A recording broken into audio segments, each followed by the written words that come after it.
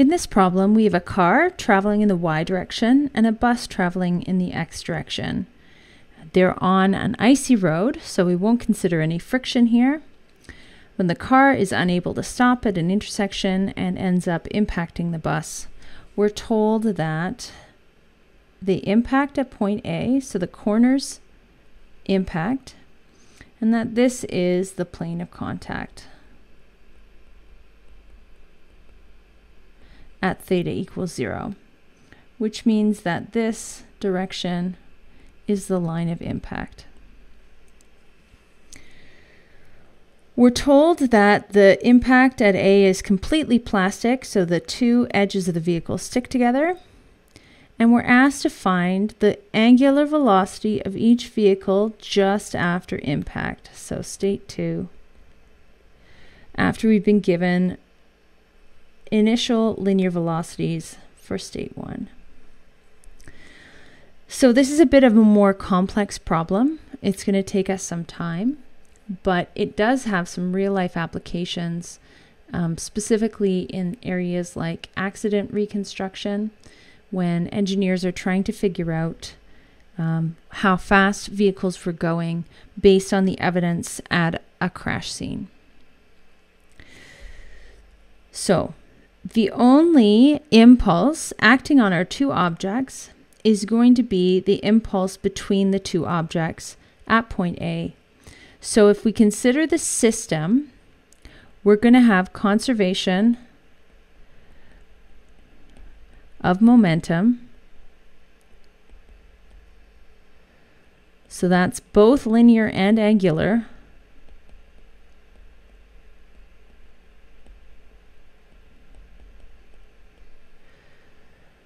For the system.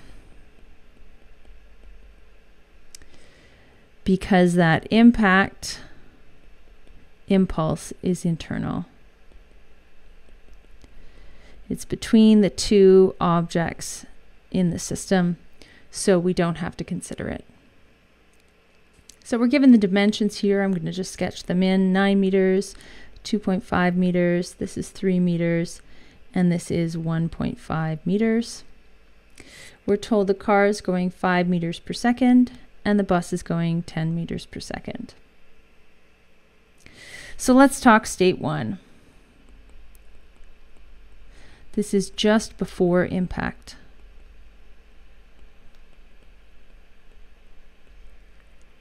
So we'll have the car, let's draw that a little lower. The car has VC1 in the y direction. The bus has VB1 in the x direction. We're told these are constant density objects, so their centers of gravity are in the ge geometrical center. And they're not rotating, so we can say omega b1 equals 0, omega c1 equals 0. They're just moving straight. So we can calculate both the linear impulse. So we can calculate both the linear momentum and the angular momentum for the system, and we'll need both equations. So the sum of the linear momentum at state 1 over the system is the linear momentum at state 1 for B plus the linear momentum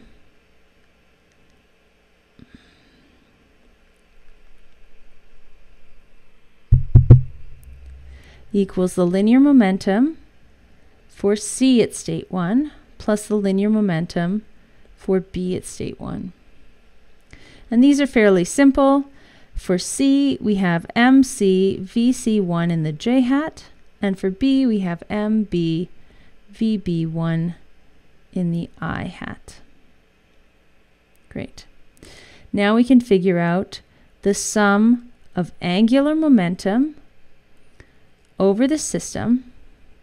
And because everything's internal, we could pick any point. I'm going to pick point A at state 1 and we're going to say that's the angular momentum about A for the car at state 1 plus the angular momentum about A for the bus at state 1.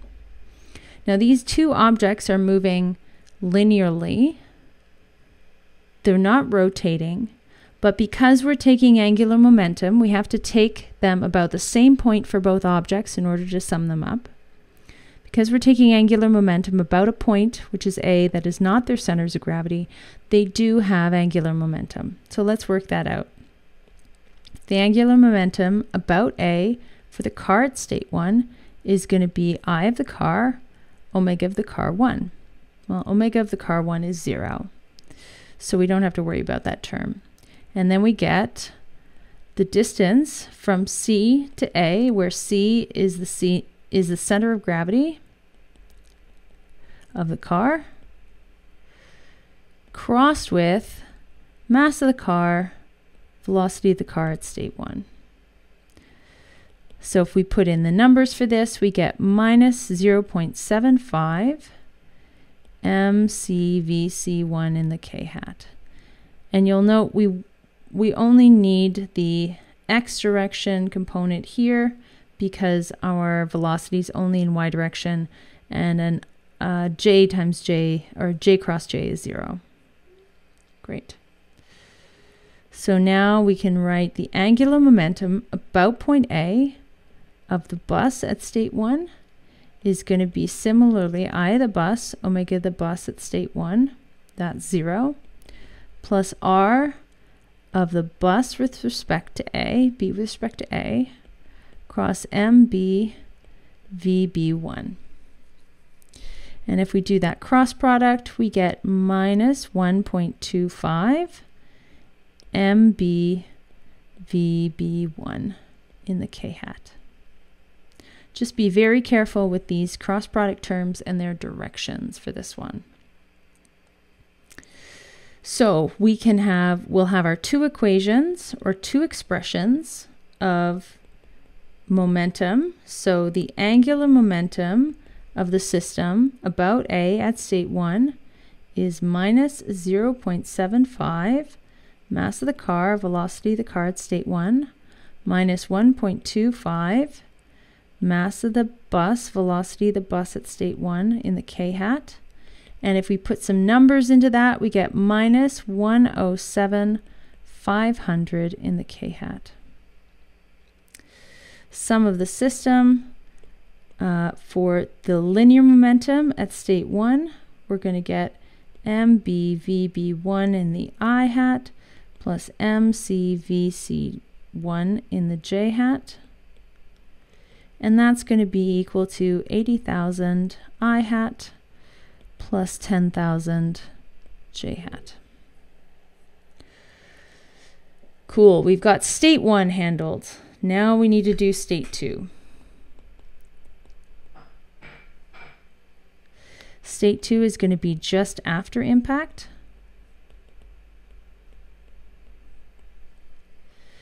So what is that going to look like? We're going to have our bus and our car. They are now stuck together at A. So we're told that's plastic. They're stuck together at A. The bus is going to have some velocity of the center of gravity of the bus at state 2 in the y direction and some velocity of the center of gravity of the bus at state 2 in the x direction. It's also going to have some omega B2. I'm going to set it in that direction. I don't really know, but we'll just pick a direction for it. Similarly, the car is going to have some velocity of the car at state 2 in the y, velocity of the car at state 2 in the x, and some omega c2 will pick that direction. So we're just assuming that omega b2 is minus omega b2 in the k hat, and omega c2 equals omega c2 in the k hat, and the math will tell us if we're right or not about those directions. So we're going to write the sum over the system of the linear momentum at state 2. So now we have linear momentum in both directions, both i and j, for both objects. Again, we just picked those directions. The math will tell us if we're right. MC VC2 in the x plus MB VB2 in the x in the i hat direction plus MC VC2 in the y plus MB VB2 in the y in the j hat direction is our expression for linear momentum at state 2. Then we can write the sum over the system of angular momentum. If we want conservation, we have to pick the same point for angular momentum. So that's point A at state 2. That's going to be the, the sum of the two momentums for C and B at about A for state 2. So C2 plus K about A for B2. Let's write what each of those are. C um, for C2, we've got IC omega C2, which is now non-zero, plus R of C with respect to A cross MC V C2, where C is the center of gravity of the car. And we can write that out as IC omega C2, we pick that as a positive, plus 1.5 MC VC2X minus 0.75 MC VC2Y all in the k hat. So I've done out that cross product without writing it out explicitly, but you should be able to find those components and multiply them. Okay, A, B2. So for the bus, that's going to be I of the bus, omega of the bus squared. Again, non-zero this time, plus R, B with respect to A, cross MB, B, B2, where B is the center of gravity of the bus. And we can write that out as minus IB omega B2. We pick that in the negative direction. Minus 1.25 MB VB2X plus 4.5 MB VB2Y all in the K hat. Just as a reminder, we're talking about this distance and this distance to get the cross products for these two and this distance and this distance for the cross products of these two vectors. Great. So now we have our expressions for linear and angular momentum at state 1 and state 2. So we can write conservation of linear and angular momentum from 1 to 2.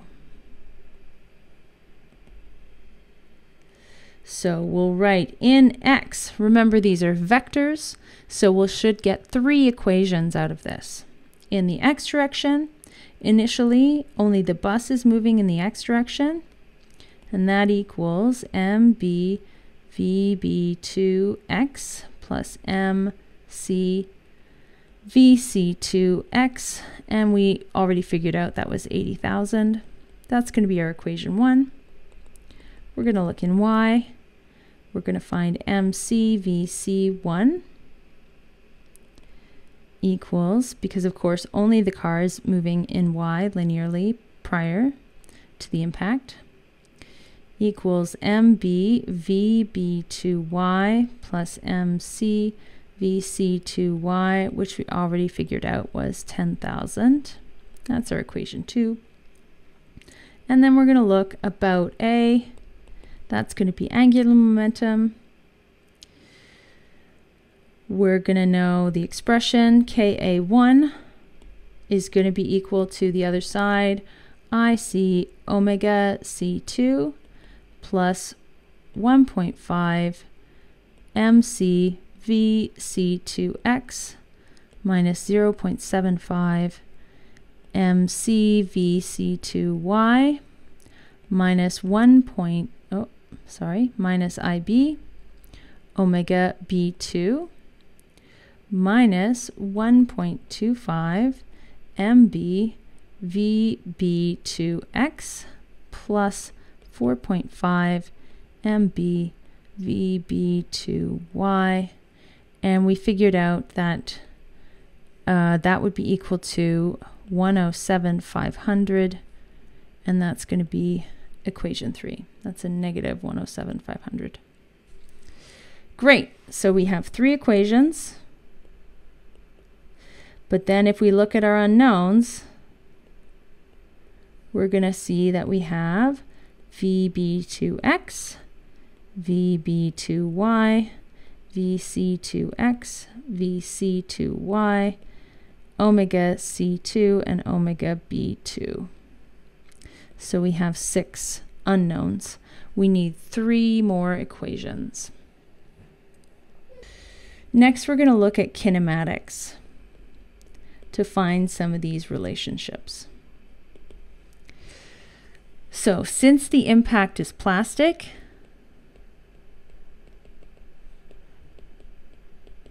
we're told it's purely plastic, VA on the bus at state 2, it has to equal the motion of VA on the car at state 2. So they connect at those corners and they don't come apart, they have to move together. So A moves together. So we can write expressions for point A on the bus and point A on the car, relate them to some of the other values that we know, and, and set them equal to each other.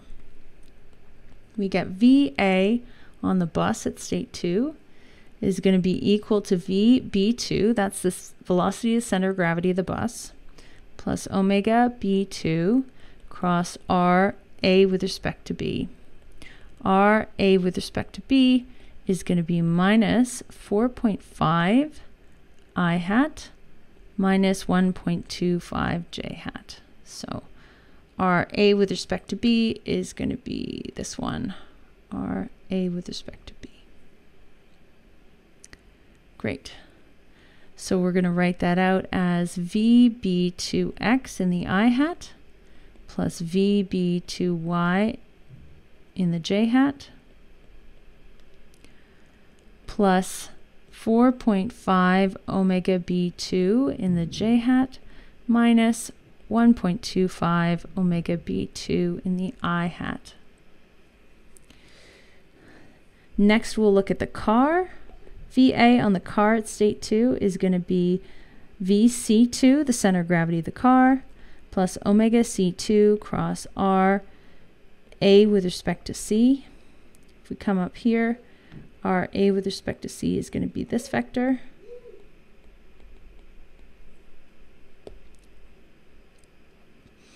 So we can write that as VC2x in the i hat plus VC2y in the j hat minus 1.5 omega C2 in the i hat plus 0.75 omega C2 in the j hat.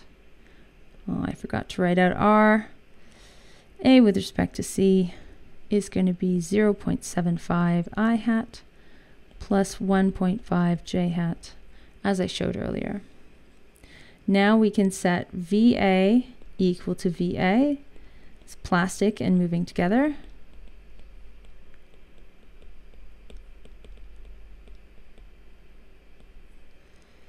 Great. And so in the i hat, we're going to have VB2x minus 1.25 omega B2 equals VC2x minus 1.5 omega C2. We're going to call that equation 4.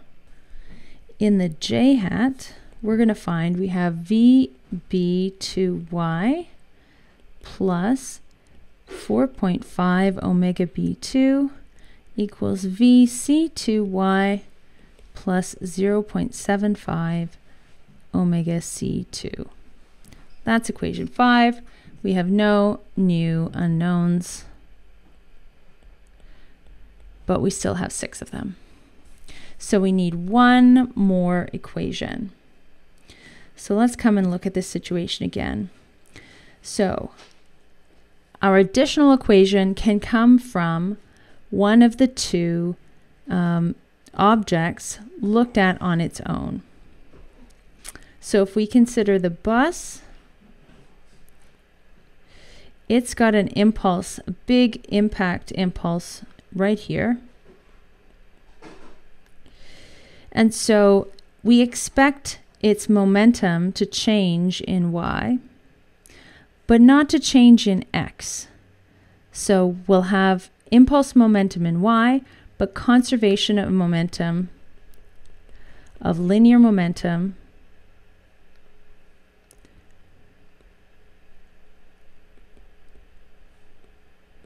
in x only for the bus. Just if you're curious and you want to look at the car, we get the same equal and opposite impulse here on the car. So we also have conservation of momentum in the x direction for the car, but that's just going to be 0 equals 0. It wasn't traveling in the x direction linearly prior to the impact. So the one we're going to get is for the bus. So if we look at state 1 for the bus, we've got VB1 omega B1 equals 0. And then at state 2, for the bus only, we have some VB2x, VB2y,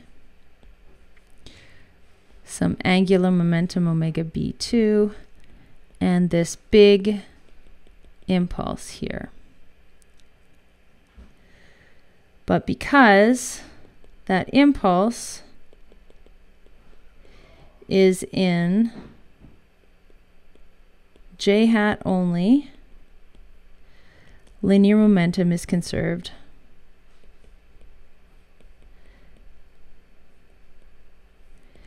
In I hat for the bus.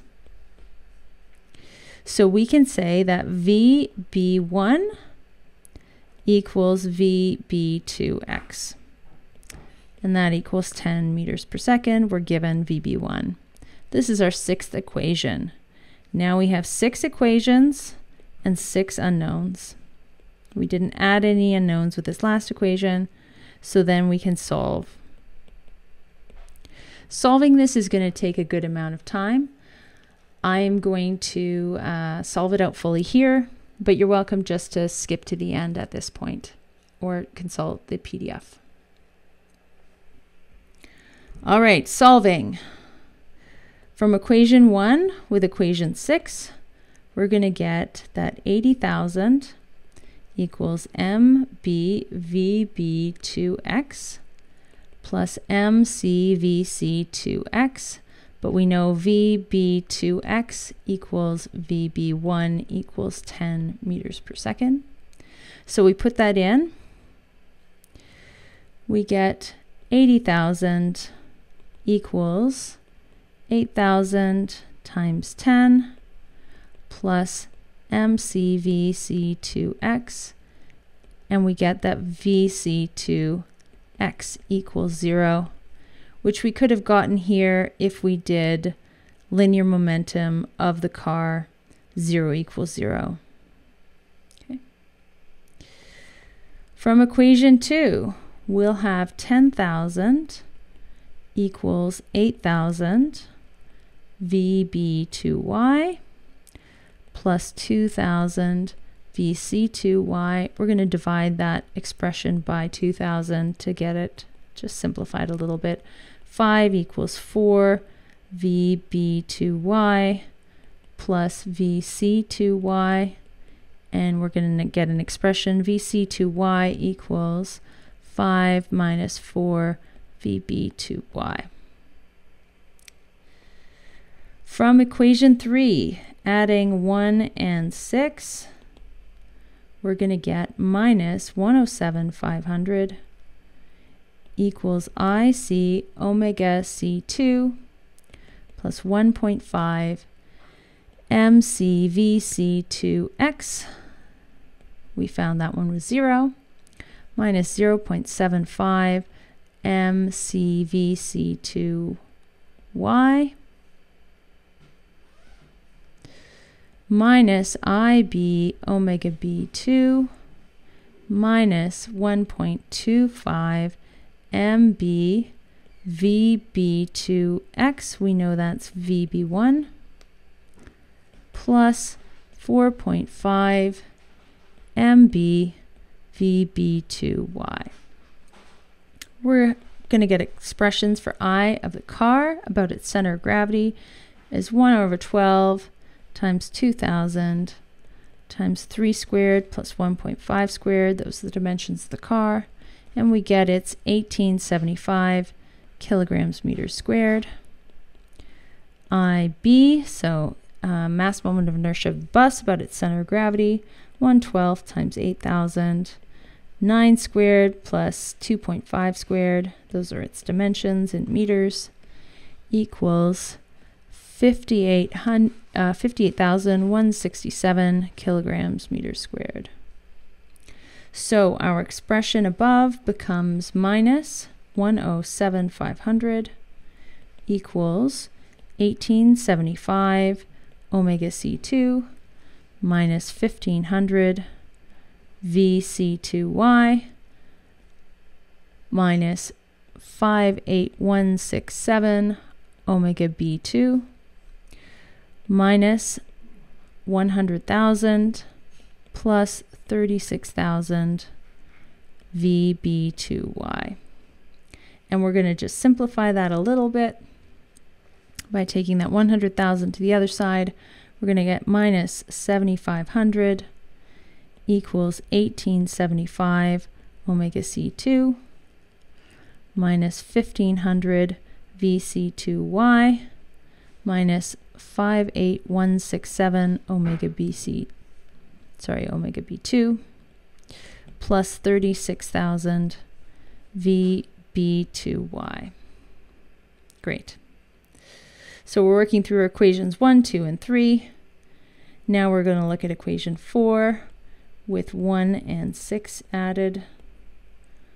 We can see VB2X. We know that's VB1 conservation of momentum for the bus in the x direction, linear momentum, 1.25 omega b2 equals vc2x, we know that's 0, minus 1.5 omega c2.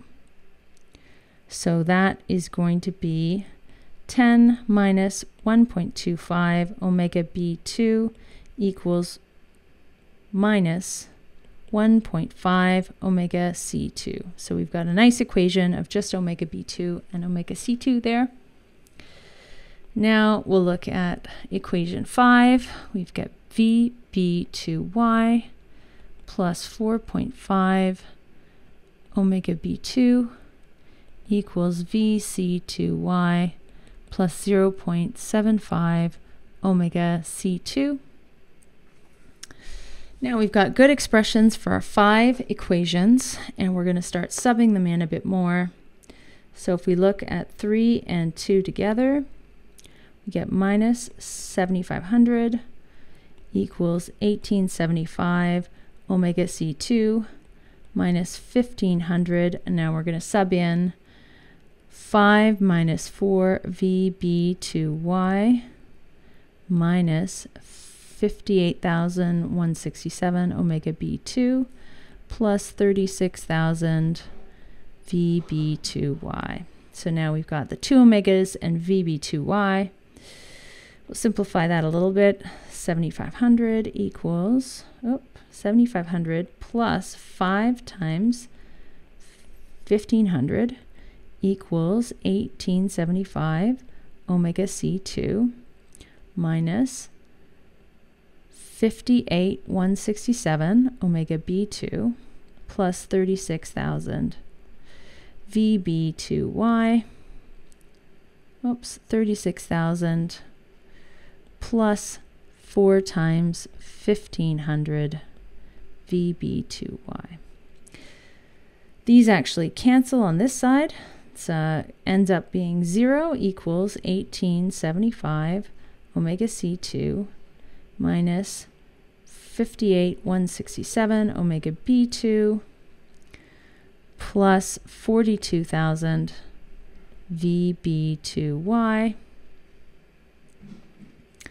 And then we'll take um, equation 5 and add equation 2 and we get VB2y plus 4.5 omega B2 equals 5 minus 4 VB2y plus 0.75 omega C2.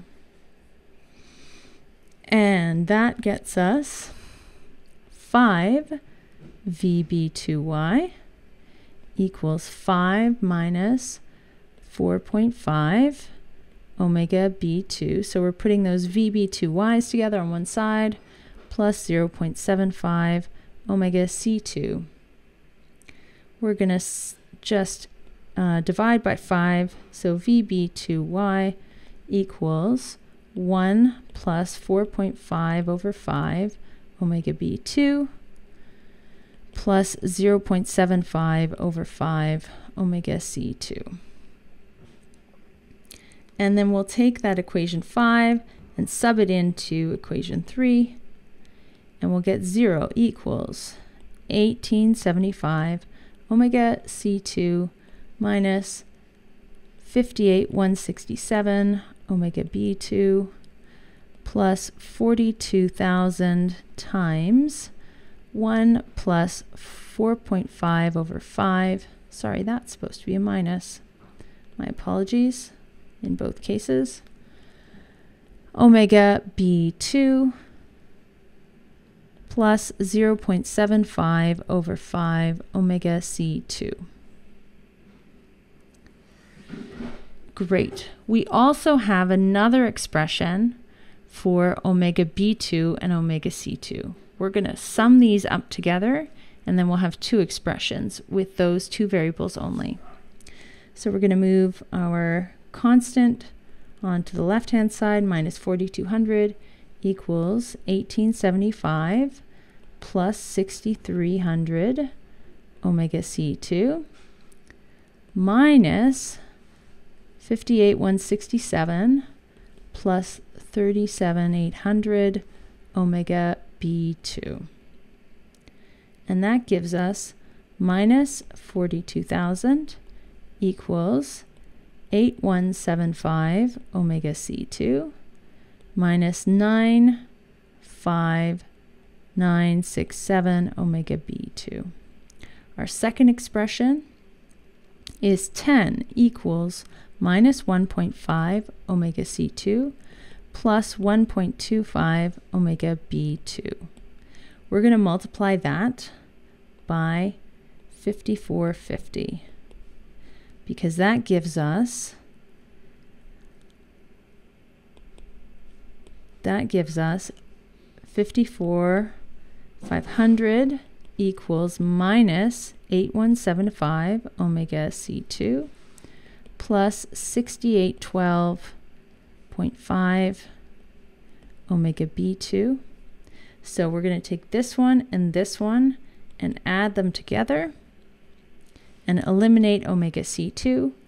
We're going to get 12 500 equals 0 minus 89154.5 omega B2. We can solve that for omega B2 equals minus 0.140 radian, radians per second. Uh, and then we can use our equation here to find omega C2 is 1 over minus 1.5 times 10 minus 1.25 omega B2 Right up there, we found that. And that's minus 6.78 radians per second. So we can see that the minus sign tells us we got both directions wrong when we looked at our uh, objects initially. And our final results are omega b2 equals a positive 1.4, uh, sorry, 0.41, positive 0.14 radians per second in the k hat direction. And omega c2 equals a negative 6.78 radians per second in the k hat. That's what we were looking for. So if we think about how these vehicles will move, they're connected at A. This one's going to move this way, omega C2. And we can imagine that if we've got our impact force here, uh, and this is initially not rotating, you can see that um, it should rotate in the direction shown about its center of gravity. For the bus, it's not as clear because we would think that it would rotate uh, opposite to what we've shown here. What we've seen, we see it has a small rotation, rotational uh, velocity in the direction the positive k, but it's likely that whatever velocity at A is just a little below um, just a little below the line to point B and as a result it's going to uh, rotate in the direction shown. So the velocity at point A is going to be dictated partially by the velocity of car C at point A and we know that the relative velocity v a with respect to c has to be in that direction, so we can see it's kind of plausible. Thanks for watching this video. Find more videos and material at Mechanics Map.